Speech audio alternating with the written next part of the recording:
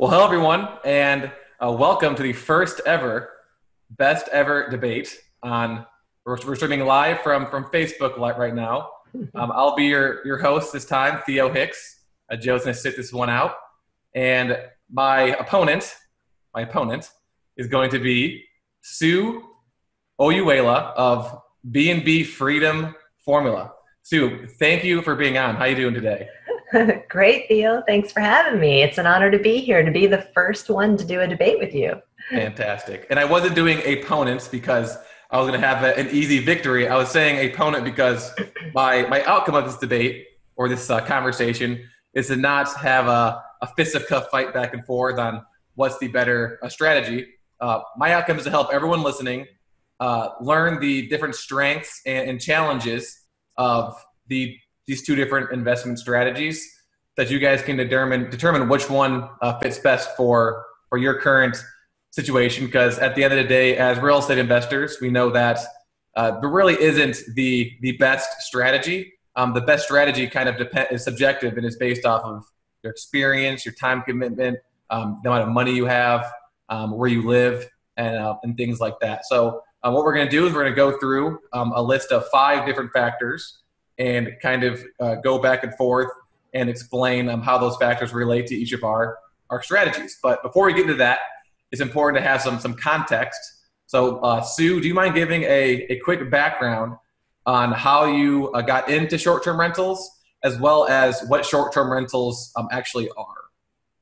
Sure. Um, let's see. Uh, back in 2011, I was deep in debt looking for a way to make extra money, and somebody said the word Airbnb and in 2011, most of, mostly people would respond, Airbnb what?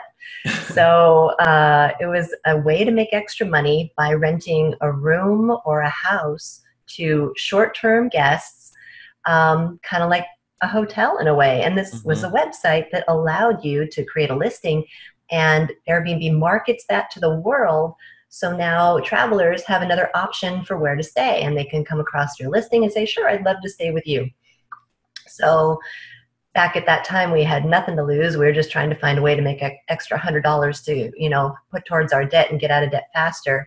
And within the first month, we made an extra thousand dollars. And that was just by renting a shed in our backyard. so we were like, wow, what else will people rent? And that's where I'm an entrepreneur and, you know, ideas and whoa. And so I started getting very creative with space. And I rented the laundry room in my house, the cupboard under the stairs. We turned into the Harry Potter room. Um, rented my oh, couch. Wow. Rented actual rooms.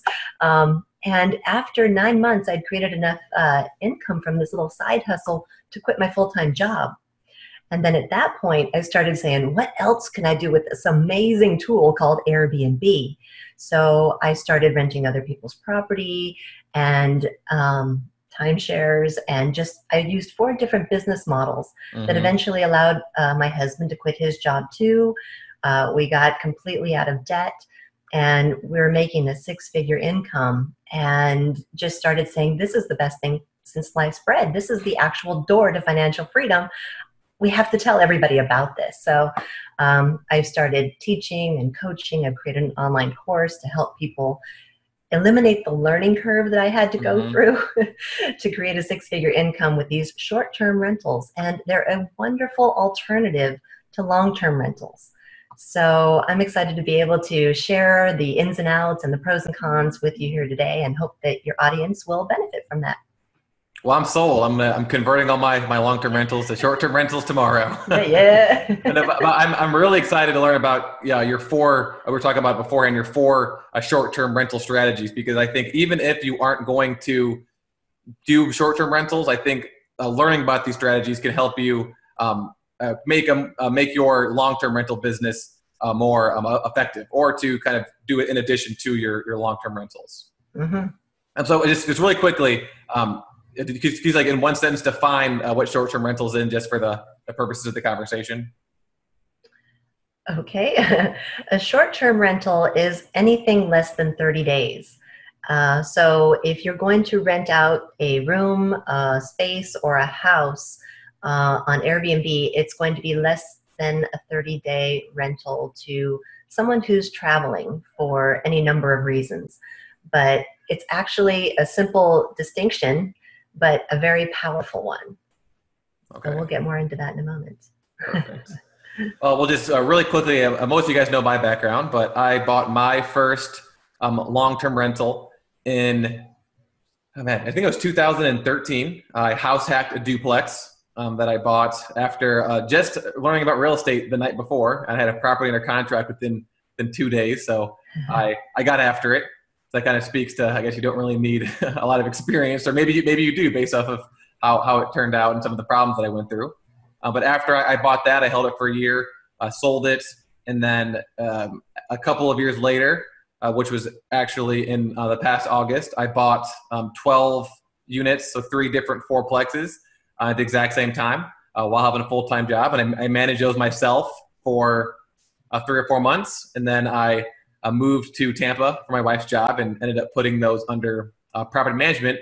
So I, I have an understanding of the house hacking strategy, the um, actually buying rentals and then landlording or managing them yourself, as well as um, my favorite, which is having someone else manage them for you.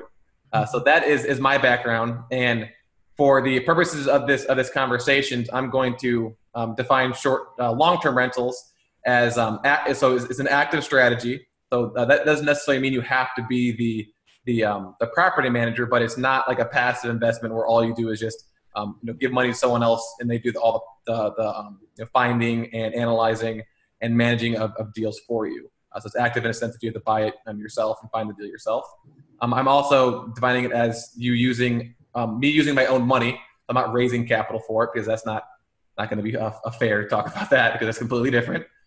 And then um, I'm also just going to gonna um, I'll keep it to um, residential properties, uh, just because I, I want to do it. I want to talk about more of someone who has a little experience or is just um, starting or is looking to transition. So they're not going to be you know buying a 20 unit as their as their first long term rental deal, and then to distinguish it from short term rentals, I'm talking about a 12 month um, non-furnished um, units. Um, so the, the, the first, I guess, a factor, and I guess the most important factor, and the one that I already uh, know that short-term rentals uh, wins on is the returns. Um, so for for my uh, long-term rentals, when I'm looking at uh, deals, I want a um, a, a five-year uh, average of 10 to 15 uh, percent cash on cash return. Um, I'm usually buying 25% down. And so I want a, a 10 to 15% cash on cash return over a, a, a five year period. Um, what are the returns? And I'm, I'm, sure this is a very vague question, but what are the, the range of returns for short term rentals? Well, that's one of the things that I discovered early on that just blew my mind. So, um, short answer is double to triple what you're used to making with long term rentals. But the way I discovered that was when we started renting a room in our house, I was looking at like, what if I went went to rent it on Craigslist, and it was maybe five hundred dollars a month to rent a room in someone's house. Mm-hmm. And if you break it down, that's seventeen dollars a day. And so when we put it up on Airbnb, it was fifty dollars a night, and that's going to be times 30 nights in a month that's $1500 a month triple what you would have gotten from a regular long term yeah. tenant.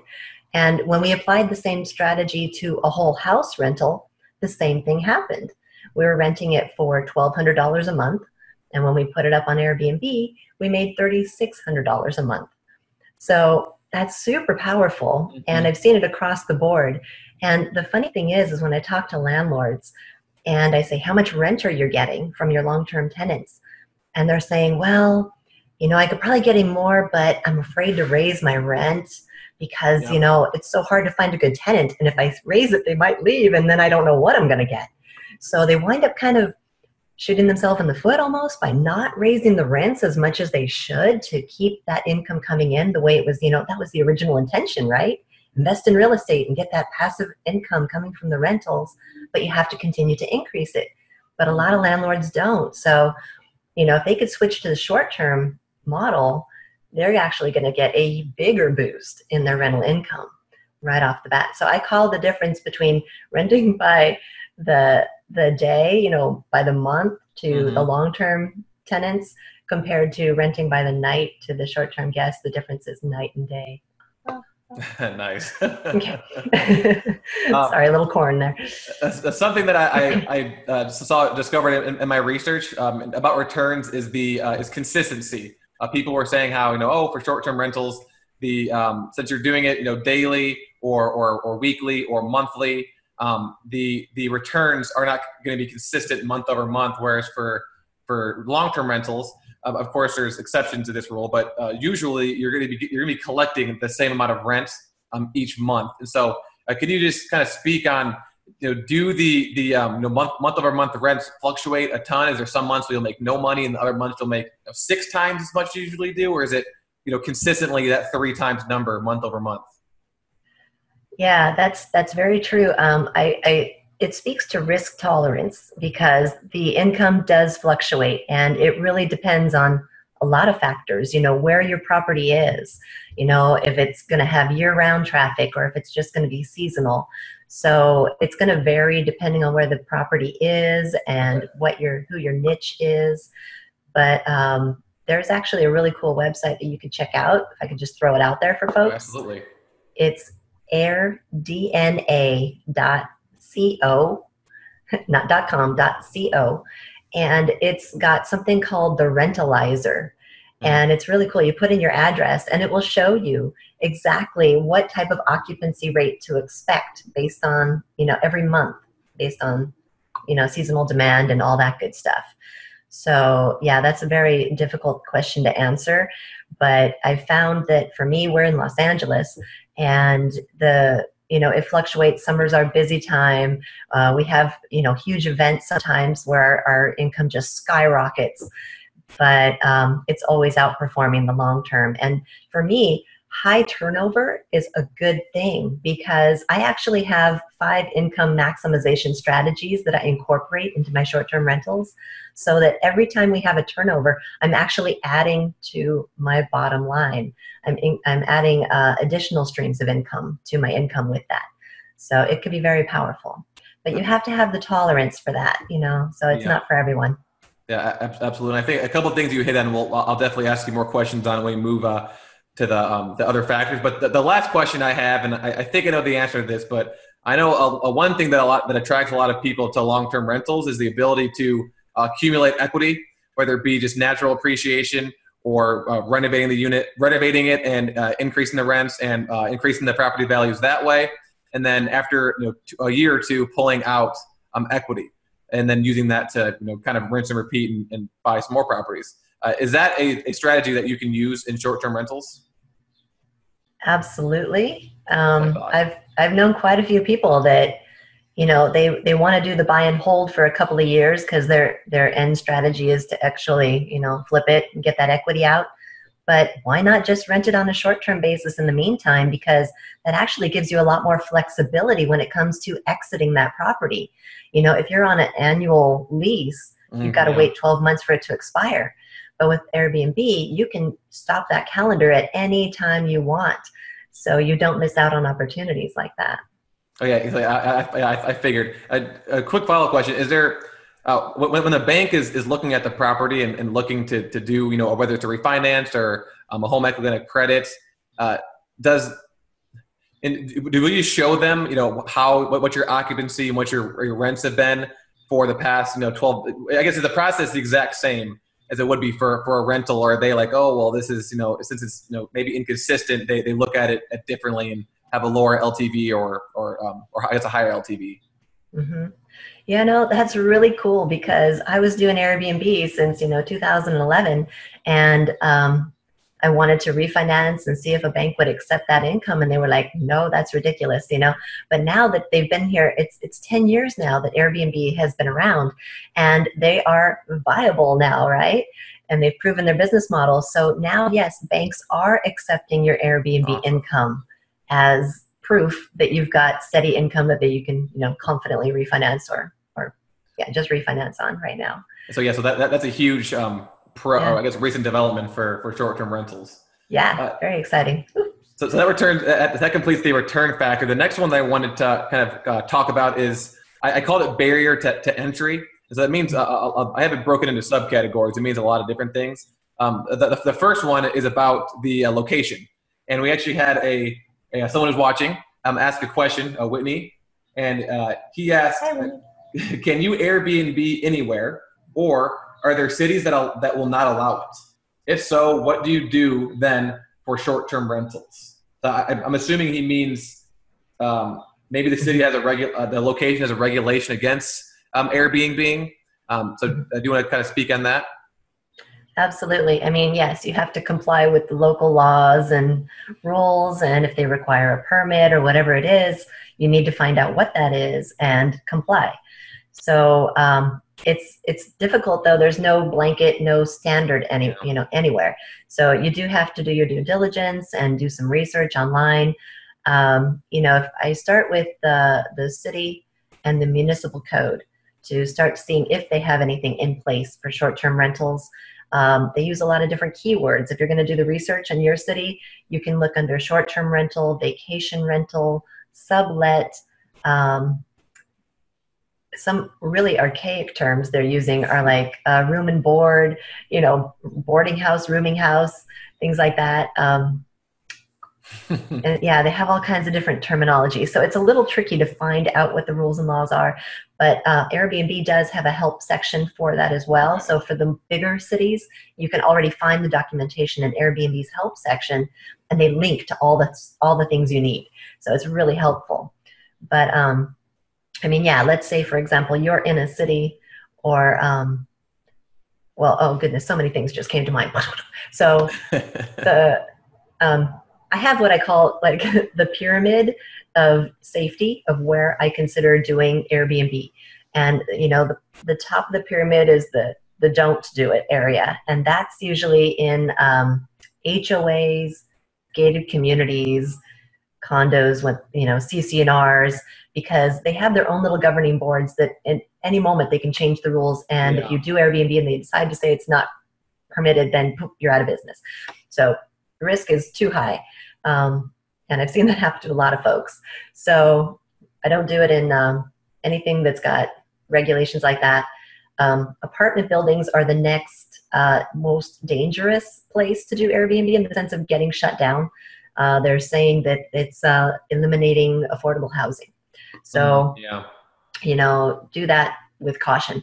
But if you get out into the suburbs, away from the hub, away from the main spot. That's what's powerful about Airbnb too, because you make more money out in the suburbs because first of all it costs you less to own a property or rent something out in you know away from the city center and you still make fantastic returns on Airbnb. So that to me is the sweet spot. Staying away from the main place that's got all the attention on it, you know. So, um, you know, there are some cities that have been completely, it's just not allowed. Um, I was speaking in Michigan in Grand Rapids, and the people were like, no, they don't allow it here in Grand Rapids. Hmm. Yeah, but the border, like one block away, is the next city over. They have no rules or regulations whatsoever. Do whatever you want. So, if you've got that flexibility, that's what I usually say is just look across the border from the next city over, yeah. and everything could be just fine. Um, but if you don't have that flexibility, um, you probably shouldn't do it on that particular property. But there are ways to still get in on the Airbnb game if you still want to play. I'll tell you more about that later. Perfect. Uh, yeah, so you, you basically hit on what I was going to ask you next. Uh, so i will I'll explain that, and then if you have anything else you want to further elaborate on. But um, obviously, there's there's the there's the um, you know regulations of the location, but there's also the the demand of the location. And I know for you know for, for long term rentals, you can do a rental in the city, you can do it in the suburbs, you can do it in, you know, I guess you could definitely rent out a farmhouse and do it that way. Um, yep. What, and again, you kind of already hit on this, and it was actually uh, surprising because I figured that it would be ideal in like a big, I mean, I guess in the, the, the, the, the big cities, but you're saying that the suburbs are actually, um, actually better. The, the one person that I knew personally that did um, Airbnb, uh, they actually had theirs next to a hospital, and they had um, so, so what they were actually going to do, or what they considered doing, was um, so obviously the hospitals have their hospital beds. They were going to turn their their house into like a, a makeshift hospital room, so people so they could you know uh, put excess patients in there. And they were telling I can't remember exactly what they said, but the amount of money that they would have made by doing that was like something in, in, insane. It was it was crazy because you know, there's like obviously regulations on how many how many beds you can put per room, um, and, and, things like that. But uh, they were by, by a hospital, so um, can you can you walk us through um, what are the types of things that you want to look for um, in the in the in that the specific market that you know will let you know that there's going to be a strong demand for these short term rentals? Oh wow. Okay. I'm sure there's a million things. So you know, yeah. that's one of the things that's in my course because that's a real exercise to try and identify who your ideal guest is. But what I've learned is no matter where your property is, there is a niche to serve. That's you know somebody's going to want to stay there on a short-term basis. Um, okay. Yeah, and you always discover things kind of like a surprise. Like we um, started getting a lot of poker players coming to our house, professional poker players. I'm like, nah, you can't make money at you know professional. That's an oxymoron. Come on. No, really, they actually are professional. And we didn't realize that we're three miles away from the Commerce Casino, which is the poker capital of the world. Mm-hmm. And we're like, who knew? So three miles away, poker players love us. They can, you know, get there for five, less than five dollars in an Uber, and it's perfect for them. So as I've traveled, this is what I found. No matter where you go, there is a niche. And um, my brother-in-law, he actually he comes to me, he goes, "Guess what, Sue? Uh, he does Airbnb on his own house and his rooms. You know, we've kind of shared it with our whole family, and now they're all in Airbnb." And he says, um, I bought a property out in San Bernardino. I said, that's great. What did you buy? Uh, two acres. I go, yeah, well, what, what kind of house is on it? And he's like, just dirt, just two acres. And I said, great. And he's like, yeah, it's already up on Airbnb. I'm already making money. I'm like, wait, okay, this is two acres of dirt in Lucerne Valley where you don't have water, electricity. There's a road about a mile away. You get cell signal, and that's it and he's got a niche out there because people love to go ride their ATVs. He's got people that are doing, you know, film crews that are renting it. I mean, all kinds of people want to rent that property, and he's making a killing on a piece of dirt. He didn't even have to develop it. I was like, dude. yeah. So, so, it sounds like it's just. You, uh, it, it just depends on how, how creative you, you want to get. And if you're a super creative person, like you know, like someone like you, uh, definitely. I mean, you started off renting out a shed in your backyard then uh, this is this sounds like an amazing strategy for someone like me who's like uh, a spreadsheet guy. I'm very good with numbers, but whenever I'm, I'm, told to, you know, my wife asked me to pick out a, a, certain color couch, I'm just like, I don't know, they look the exact same to me. Um, so I, I think uh, for for me, I really like um, long term rentals just because it is so so so simple and and, and basic. And um, again, I know some people get get a kick out of that creative aspect of it, but I like just the basic. You, you find a property in an up and coming area yeah, yeah, you, you put you stick some renters in there. You don't have to do anything fancy because um, I, I, I, I, don't, I personally stick around like the C, B class properties um, just because um, you know that way if, uh, if, if I, I, well sorry I would buy them uh, C class B properties in markets that are right on the out, outskirts of, of A markets um, that you know are renting for just these insane uh, monthly rents you know like twelve hundred bucks for a, a one bedroom per month and you know, eventually this, those people are going to want to start you know moving somewhere where they could you know it's more affordable and that's kind of what, I, what I'm seeing in, in, in, my in my rentals right now. So you know, location wise, I like to pick um, places that are right next to really uh, nice areas. And you know, since we're talking about barrier to entry and kind of transitioning to you know expertise and experience, that does take some experience, right? Because you know every neighborhood's different, every street's different in a, in a neighborhood. And so if you're you know, if you if someone tells you to invest in, in Cincinnati, for example, like that, I mean, there's a market in Cincinnati where houses are you know over a million dollars, or where you can get, as I said, rents for two thousand dollars for a two bedroom unit. But then, literally a mile over, there's fourplexes that rent for four hundred and fifty dollars. And so you have to. Um, it, it does take a lot of um, not necessarily. Uh, it's just a, a time consuming activity to to understand your market, but that's but you're going to have that for uh, for everyone. Uh, uh, something something else about kind of the barrier to entry is, as I just said, was um, experience. So for, so for me, you know, I maybe I'm an anomaly, but you know, the second I learned about uh, long-term rentals, I just went and bought one the next day.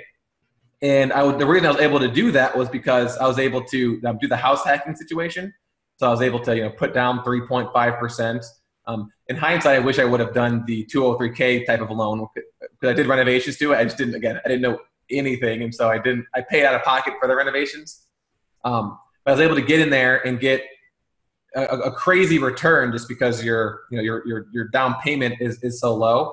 And so, in regards to barrier of entry, from from my perspective, um, I think long term rentals are are great because of the, the the, the opportunity to do the the house hacking um, strategy, which is again you, you buy with owner occupied loan, you live in one unit, and then you rent out the other ones. Um, it has to be a, a residential property, um, of course, but you know that, that way you could live for essentially live for free. And so it's a great strategy for people that are just out of college that have you know maybe ten grand saved up. Um, I actually started with what was my down payment? I think my down payment was like fifty five hundred bucks, and I ended up renting uh, the top one for for fourteen hundred dollars, and my mortgage was I can't remember exactly what my mortgage was, but I was actually making money, and I was like, this is the craziest thing ever. I just can't believe this is is real. And of course, it's different for me because again, I didn't know anything about real estate, and so when I was, I, I thought that you had to be like have like a, some sort of certification to invest in real estate. I was, I was like, I was a complete noob. Um, and, and and also again, and then as, as one other point um, is about I want to ask about uh, the team. So I'm not necessarily sure if you are doing all the management your, yourself but um, if you if you aren't, or for people that have you know a full time job and, and and they can't um, they don't have the time to, to manage it um, themselves, uh, how do they kind of kind of go about about doing that? Is that is that a challenge that, that you or your any of your, your clients have? Well, um, that's interesting that you should say that because um, so in the beginning, I was all about creating systems and streamlining. So I implemented all these systems in my own house so that I didn't have to do as much. You mm-hmm. know, I trained cleaners and put in systems for inventory supply. And then at one point, I outsourced the communication to a co host. So that pretty much took everything off my plate. It was that yeah. simple.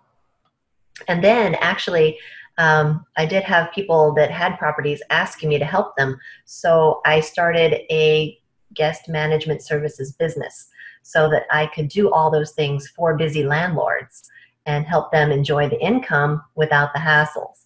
So, you know, if you're scheduling cleaners and restocking supplies and that's a hassle, then I was taking care of that for them. So, um, since then, I've been teaching people now how to start guest management services as well because the need and the demand is so huge across the country and the world that there is enough to go around. Um, I have to say, though, I love your story about the house hacking. Um, I wasn't sure what that term meant, but I love what you oh. shared because it's crazy. My daughter, right now, she's buying the house she's living in because it happens to be a duplex um, it's like a pocket listing deal, right? The the tenants mm-hmm. in the mm-hmm. back moved out. The landlord came to her and said, "I'm thinking about selling it. Do you want to buy it?" She said, "Sure." And she's already got a storage unit full of furniture. So the minute she closes escrow, she's throwing all that furniture in there in the back house and turning it into an Airbnb. So it's kind go. of your strategy, but now it's on steroids. So now you've got yeah. the extra income from the short term rentals to just amp it up. So yeah, she's been doing Airbnb too um, in her own house, and now that she's got this opportunity, she already understands the power of Airbnb. So it's not even a question, long term or short term. She's going short term all the way. I think I found a, a, title of a book for you. It's called instead of house hack, it's the Airbnb hack. I, I, think that that's going to be the, the next big thing because we, we were house hacking before house hacking was a thing. I think Brand, I'm not sure when Brandon Turner coined that term, or if he's the one that even coined that term. But uh, the guys that taught me about real estate, they both house hacked you know, five years before I was house hacking. So back in the mid mid 2000s, but um, it wasn't called house hacking. I don't even know how he uh, dis- discovered it. I, I, I, actually have no clue how he discovered it, but I'm glad that he he, he told me about it.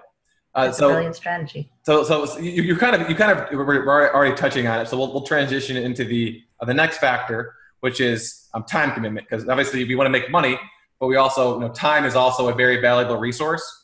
And, and of course, for, for any strategy, you can automate the entire process and really have no time in there. But for, um, I guess I'll, I'll, I'll say my side first, because I kind of did all, all three entry level models. Uh, so for house hacking, um, and again, this is just me personally based off my personality. Uh, that one was the most stressful for me. Um, and so obviously when I'm stressed out, that affects you know my time because I'm not productive at all. but it was just stressful. Um, and it could be due in part to not knowing what I was doing um, before I, I, entered. But you know, whenever I was, whenever I just thought of the house, I, I thought it was going to fall, to, you know, fall, to, you know, fall to the ground, catch on fire. Um, I, I, was, when my phone rang, I thought it was a tenant telling me something was wrong. so I was, I was, I was a mess, which is kind of attributes to why I didn't. Um, I, I, took like a two-year break, uh, but then after those two years, when I bought these 12 units, I was I, I did the, the, management of all those uh, myself, and I mean it, it, it. wasn't. I probably, if I would say, I probably spent on av- on average maybe around 10 hours a week uh, doing that full-time management. Uh, once obviously I first took it over and got all those you know large duties out of the way, which is you know, setting out all the new letters and letting everyone know who you are, um, fixing you know any ongoing uh, deferred maintenance, um, which was you know people that are listening to this know all about that. my, my, my boiler issue. I'm probably known as the boiler guy now. Um, and uh, but I mean, once I was done with that, you know, I, I was actually doing them. I was I was doing. I mean, most of my time I spent doing landscaping. Like I'd go there and rake leaves and mow the lawn. Um, and so obviously that's stuff that's very easily automated and um, and it is only 12 units, but um, the, the time commitment on that end wasn't very hard. And now that I have a actual property management company, it, it's even less because whenever something happens, instead of me you know, having the tenant call me, I have to you know go there and, and, look at it and see what's going on, and then find the proper you know person to just uh, to solve the uh, to solve the problem for them. And now the property management company will either do all of that up front if it's a small maintenance issue to do all of it and i won't even know about it until the end of the month or if it's larger he'll just say hey theo here's what's going on. Uh, here's what i've already done. Uh, you know here's the here's the quotes. Um, we can do this this or this. You know option a b c uh, what do you want to do? And then i just you know bing bing bing look at my my my, my uh, phone. I go option a. And then that's it.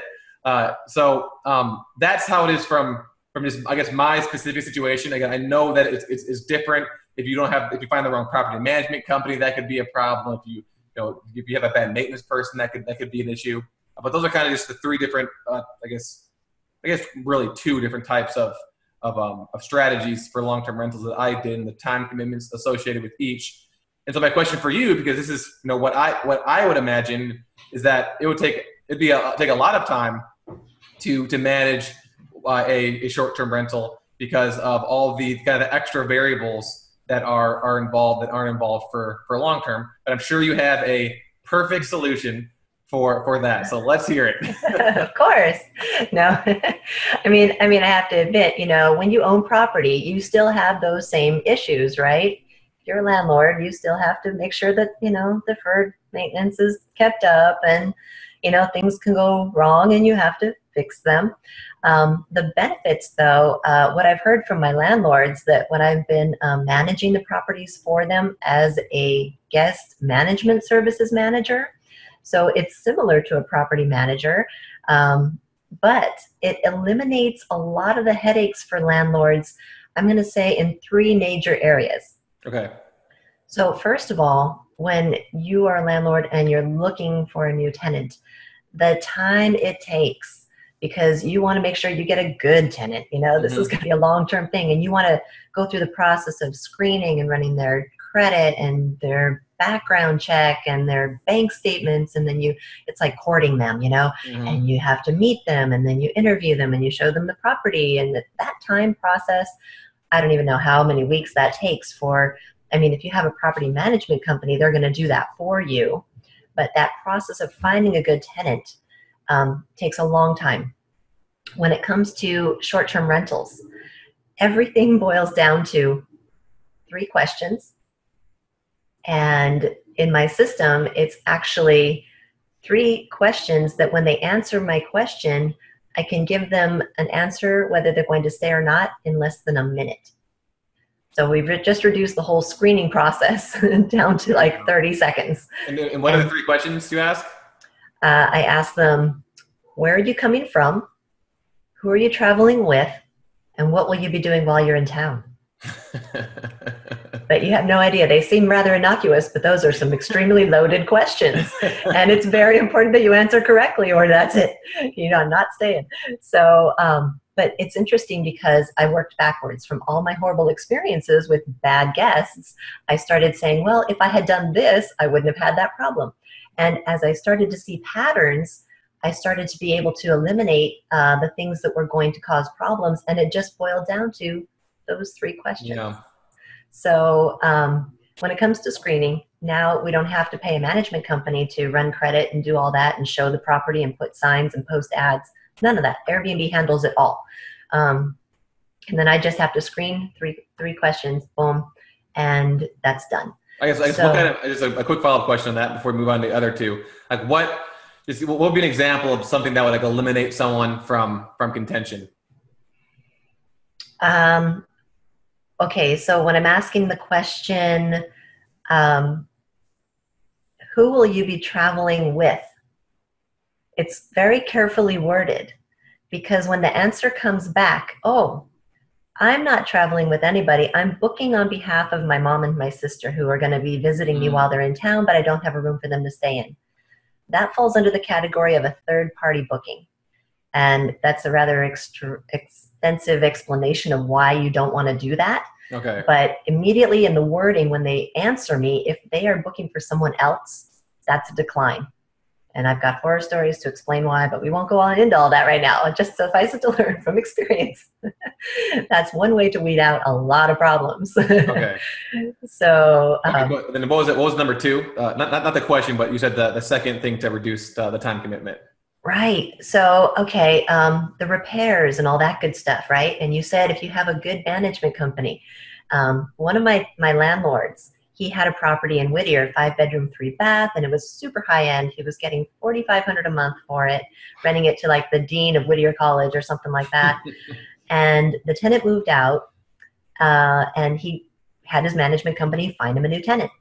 So the management company did, and it was a disaster you know, it was kids and they started bringing their friends over. They turned it into some sort of a den of iniquity. I don't know. But it went downhill fast. And um, then they had to evict everybody. And when they got in there after the eviction process, he discovered this massive hole in the ceiling that was caused by some sort of a leak. And he said, Hey, management company, you were supposed to be checking on this at least every six months. How did that get there? Because it had been like two years. And so things like that don't happen when you're doing short-term rentals because you have such high turnover any little thing is boom, taken care of done it doesn't come you know blow up into a huge huge problem. So you save a lot of money on that end um, and then the other thing that is interesting i don't know if it's true in other states but in california when you rent to somebody or lease the tenants have more rights to the property than you do and it's kind of annoying. You know, if you want to go in and check your property, you got to make an appointment. And if the tenants don't want to let you in, that's it. You can't go in. And it's weird because it's your property. Yeah. you know, I never understood that. Wait a minute, who's making the mortgage payments here? But that's the law. So when it comes to Airbnb, you can come and go in your own property whenever you want. and so, you know, like one of my landlords, he's calling me saying, "Can you book the, uh, you know, open it up, but block this weekend because my wife wants to have a book party with her girlfriends, you know? And you say, sure, it's your property. You could do whatever you want with it, you yeah. know? And it's a huge benefit for landlords to have that control over their own property. It seems like such a small thing, but you know, wow. yeah, yeah, control. Yeah, control is uh, is definitely big, and, and as, as you as you said, you know, in, in, in California, I'm sure it's a statewide. You know, tenant tenant friendly state versus landlord friendly state, and so with a, with a quick Google search, just for people listening, you can you can see. I can't remember. I've looked into it before, and, and, I can't remember at the top of my head uh, which states are are the best for for landlords. But yes, things like how much time do you need to give them before you can go into the property? Um, you know, can you just show up, or is it 24 hours notice? Um, and then kind of the, the, evic- the, eviction, the eviction process, the security deposit return process, uh, those all vary. So, kind of I, I, I, mean, maybe maybe that will you know convince some people to invest you know in an out of state market opposed to their own market. But you know, again, like most things we're talking about, uh, it it all depends. yeah. Um, it, it's so I guess the, the the the last two two kind of categories aren't um uh, won't take too long to talk about. One of them was uh, I kind of already mentioned this: the extra variables involved uh, from with short term rentals over um, long term rentals. um, things like you know furnishing the units. Um, something that that uh, I, I didn't think about until I was researching, but um, is the importance of, of reviews.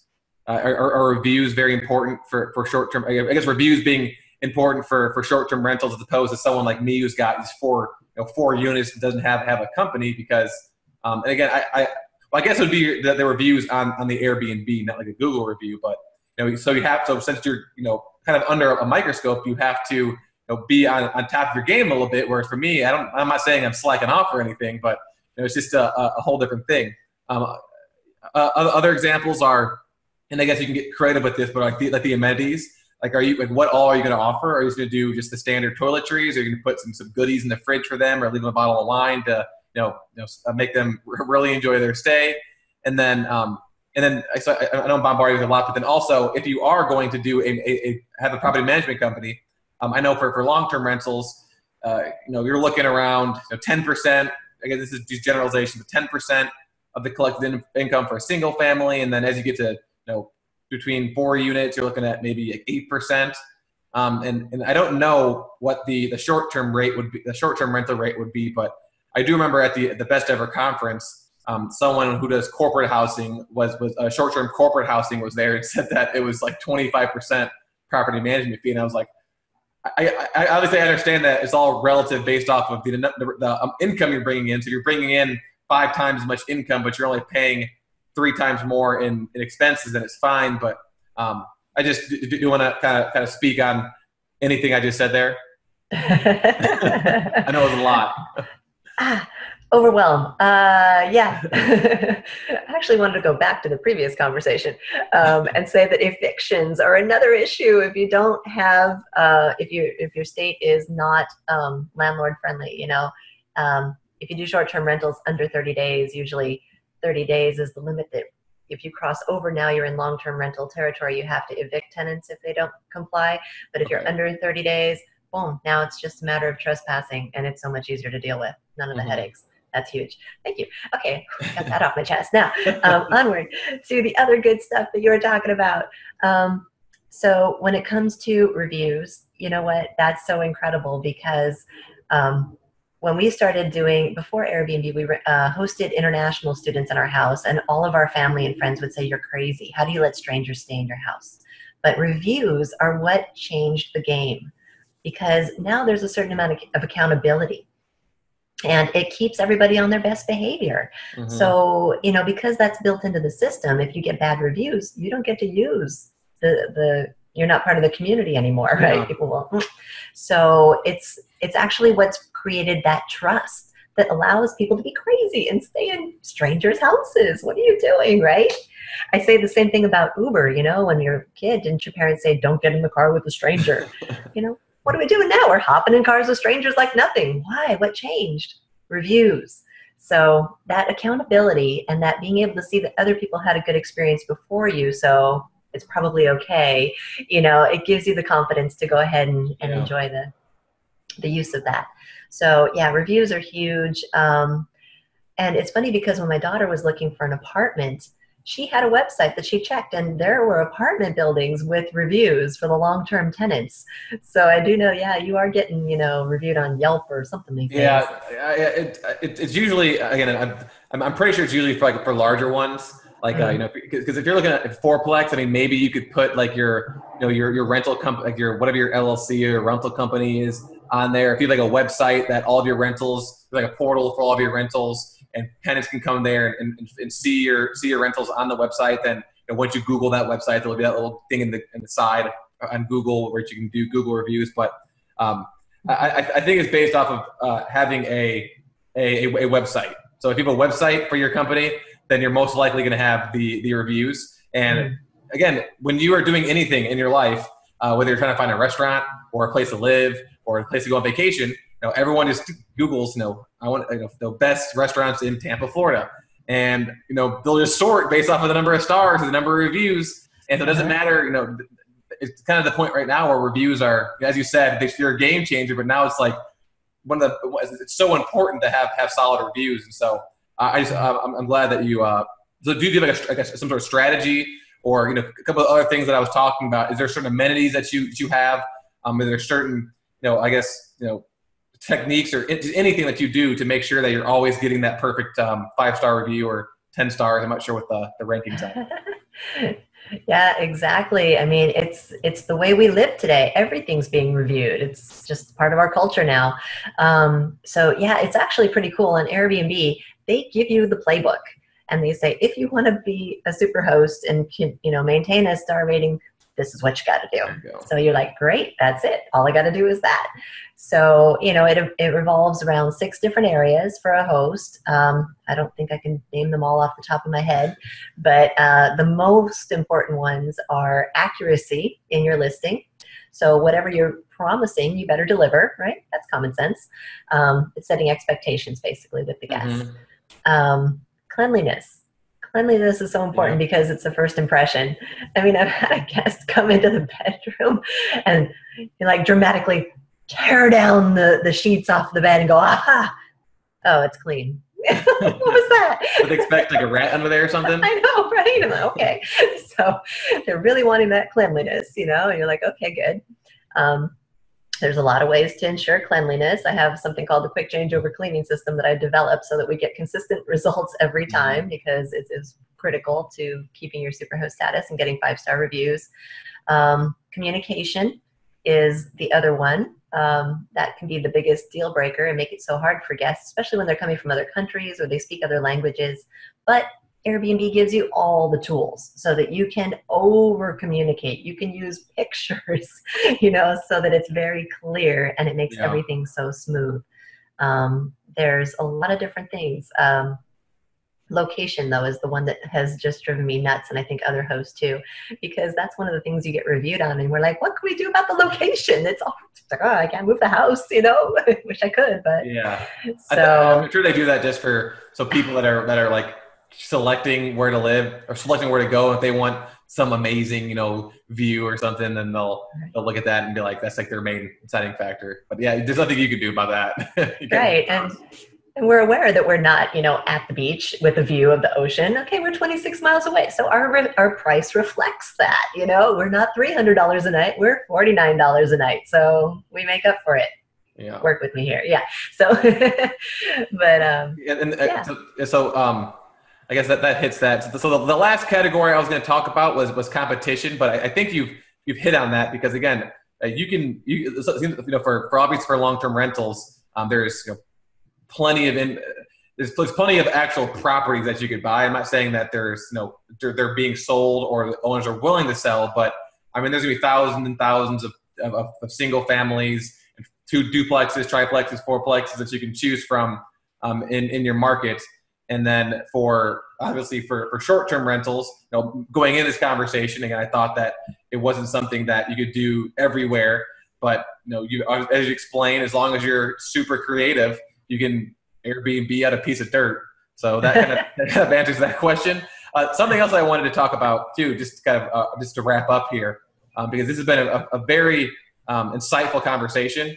Um, from, a, from a more personally, me and uh, I just moved to Tampa and you know we go to the beaches all the time now, and it's still just uh, amazing. I'm, I still go. And I'm like I can't believe I, I live here. It's insane because um, I'm, I'm used I'm used to living in uh, Cincinnati. So like when we got here in January, it's, it was snowing there, and we come to sunny beaches. But um, there's you know uh, so many cute little beach towns uh, down here that I, I know you, you, can you can see that there's obviously vacation rentals down there, and um, and so you know we we've considered buying a, a single family house uh, not necessarily on the beach, but uh, in one of those beach towns, and then you know furnishing it, and then when we're not there, Airbnbing it. But then it's something where, well, what if we just Airbnb it during the week, and then on the weekends we just literally live like down there. It's like after work we just drive down there. And I know we max, I know we make more money renting on the weekends. I'm assuming, but but still, um, I mean, again, everybody said it depends how creative you get. Um, but that's something that you know I, we were considering doing to come in this conversation. I was thinking in the back of my head the entire time. It's like we could we could totally do this. We can have we could have a beach house, but make money if we're having a beach house. Um, and then but, but, but so there's that. But then I know there's one thing that you wanted to um, or that I wanted to hear from you, which is your um, uh, what did what did you call it? You called it the ultimate leverage strategy. Um, so do you want to just uh, hit on uh, what your ultimate leverage strategy is? Okay, sure. Oh, and by the way, you know, all more power to you because if you decide to go with that beach property, you've got the best of both worlds, you know? You could stay in it when you want and go back to your other house when you don't want, or, exactly. you know, rent it on the weekends or once a year or whatever. You've got all the options open to you. So I want to see what happens with that. Keep me, keep me posted.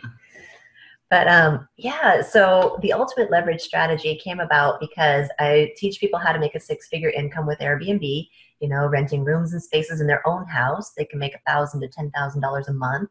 Um, showing landlords how to trade their long-term tenants for short-term guests, eliminate eviction headaches, and double or triple their rental income on their empty rentals. Mm-hmm. But then people kept saying, "Well, what if I don't have a property?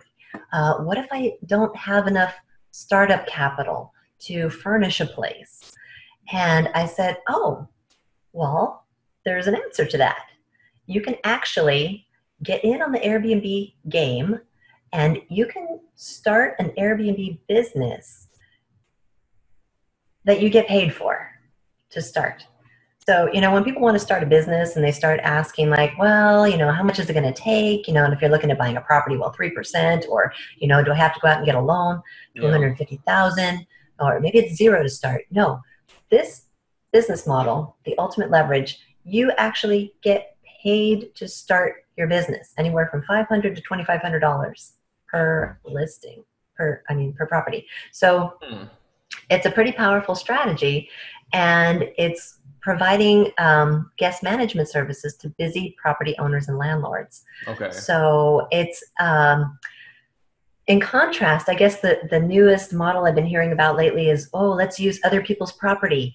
But when they say that, they're actually going out and renting a property or mm-hmm. sub and yeah and then subletting it on airbnb which i've actually been approached by landlords pretty smart landlords and they're like hey why don't you just give me a flat fee per month and you keep whatever else you make on top of that which i do so that works too but the way you can get in on this without having to have that monthly payment or pay the utilities or have to worry about any expenses zero cost out of pocket is just partner with those busy landlords and property owners by providing the guest management services. So if anybody out there is an Airbnb host right now, you're, you're like little light bulbs are going off like crazy. So, and if you don't already have experience doing that, I have a course called the B&B Freedom Formula that teaches you how to become that Airbnb expert so that you can start to offer those services and create a six-figure income from your own Airbnb business. And the beauty of it, because there's no cost to you is it's unlimited in the scalability. So you can grow this as big as you want. And I teach you how to um, outsource all of the different pieces of it so that it doesn't depend on you. And I give you the pieces to fill in as your inventory grows so that you can you have unlimited capacity. So it's a very exciting business model and it's been blowing it out of the water because so many people haven't been able to get in on the Airbnb game until now. So okay. thank you for letting me share that. Oh, that, that, that's awesome. So, I mean, as from, from my understanding, so it's, it's, essentially you're like an Airbnb kind of like property manager. Like you're, you're, you're acting as a as the property manager management company for people. Like you know, example for for you, if you didn't want to um, do anything, not anything, but if you didn't want to do uh, the day to day activities, you know, from from my perspective as a as a as a, as a long term um, landlord, I would be like, I need to find a, a regular property management company. Whereas if I was an Airbnb host and I was you know, sick and tired of dealing with you know, cleaning toilets, as they always say, um, you you get this um, you get this uh, was it, you say Airbnb guest services? What you called it? Uh, guest management services. Guest management mm-hmm. services. Okay. That's a business model that I've developed. Um, it's not endorsed by Airbnb or anything, oh, okay. you know, um, but I use Airbnb as the tool to deliver my services. So um, I've been training people how to provide those services as well so that they can actually tap into that additional income and get paid. Um, actually, oh, you were asking about what the, you know, how much you make, right? Yeah. So with the Airbnb management, it's more uh, 20 to 50% because you're right. We increase the income so much that it's still a smaller slice than it would have been at 10% on a long-term rental. So yeah, yeah so, so, so, so, if you're a property management company, you should be if you you know are either interested in starting a property management company, um, this is something you should definitely uh, be interested in and, and pursue further because I mean if you're making 20 to 50 percent on a revenue that's five to 10 times higher than what it would be otherwise, then you're gonna be able to scale a lot faster. Yeah, absolutely. And I just need to make sure that people understand, you know, um, if you are a property management company already, this is a beautiful tie in. Why not just start offering this additional service? Save yourself a lot of time on screening and all that stuff. You can probably reduce your uh, your number of employees and save some money on your overhead. Who knows? But um, in order to do the guest management services, it's not technically property management. So you don't need to have all the licenses and permits and everything involved because, um, yeah, because of the way I set it up, you're not handling any of those things technically so that you are free to just go out and start your business without any restrictions. Awesome. I think we should. I think we should uh, end the, the the debate portion uh, with that uh, powerful strategy. And uh, before we wrap up, I just want to just uh, quickly look. Uh, uh, uh, uh, ask you some um, uh, of the listener questions, and we had, we had a question earlier from from Whitney, and so we really appreciate that. We, we had a second question from from Grant, and it's something we talked about way at the beginning of the conversation. Um, so I apologize for that, Grant. But um, he asked, "What happens to an existing Airbnb property when a town or city um, outlaws uh, Airbnb? Do you have to shut down existing Airbnbs, or can you just not create a new one?" Ah, good question. Good question. Yeah, so it's happened to folks. They've been in the zone where it's not just like they've changed the laws and said now you have to get a permit or now you have to comply, but they've actually said, nope, it's banned. So unfortunately, you do have to stop doing Airbnb short term rentals. But short term rentals, again, mean anything under 30 day rentals. So a landlord, if you own that property, you've got so many options open to you, right? I mean, that's the nature of real estate. We're always looking for higher and better uses for it, and there's a ton of them. Yeah. So, you know, you have all the options open to you. You know, you can go back to long term rentals, or even there's an in between. Um, something that's really fun is corporate rentals. Mhm. So, business travelers, sometimes they need to stay for two to three months. Uh, traveling nurses, you know, people who need a short stay but longer than 30 days, you could still do that, no problem. And you will be compliant with the no Airbnb, which is actually any, nothing less than 30 days is what they need. So, you still have a lot of options open to you. Makes sense. All right, Sue, I, I, I really appreciate it. Just to kind of quickly summarize uh, what we talked about. And so we were doing Airbnb, uh, uh, Airbnb slash short term rentals versus long term rentals, and we were kind of comparing them across a variety of different factors. In regards to returns for short term rentals, you're looking at approximately three times as much rental income um, from as uh, compared to, to uh, long term rentals. Uh, the only potential drawback is the the fluctuations. Um, but again, you know, with a little creativity, you can you can fix that. Uh, whereas you know for the long-term rentals, you're not getting as high of returns, but you do have that that consistency. Um, in regards to barrier of entry, uh, which is much surprise to me, um, you can do these um, anywhere. Uh, you can do it in um, a city, depending on you know, the rules and regulations. Uh, you can do it in the suburbs, uh, which, as you said, it was one of the one of the main places you can do it. And then again, my favorite part of this conversation is the the dirt. You can literally Airbnb dirt so people can ride around on their dirt bikes. Um, and then for obviously for for for long term rentals, uh, you can you can do them anywhere as as as well. Um, we talked about the the time commitment, and you gave us a couple of strategies. Um, what three things in particular that you can can um, can do to I guess kind of reduce the the time commitment. And I went over a couple of of uh, kind of stories of my progression through you know managing you know my own pro- the property I lived in, to managing properties I didn't live in, to finally uh, ridding myself of that responsibility and uh, giving it to um, a, a a property management company who's doing a great job. Um, then we kind of hit on a competition a little bit. Uh, then we wrapped up with the the ultimate uh, leverage strategy, which is essentially a, pr- a property management for Airbnb, but with uh, insanely uh, much higher um, returns. Uh, so I, I so I really appreciate you being here. Everyone's listening. Thanks for for tuning in. Um, where is a uh, a good place people can can learn more about you, learn more about the information you've talked about today, and learn more about kind of your your short term rental strategies. Uh, they can find me at suehoyuela.com. Uh, we might want to put that in the show notes because it's kind of hard to spell, but hey, my name's right there on the screen. So if you could spell it, suehoyuela.com, um, that's a great place to learn more. Awesome. Well, uh, thank you again. Uh, thanks everyone for listening. I hope you guys enjoyed the uh, the first ever uh, best ever debate. And uh, we will talk to you guys soon. Awesome.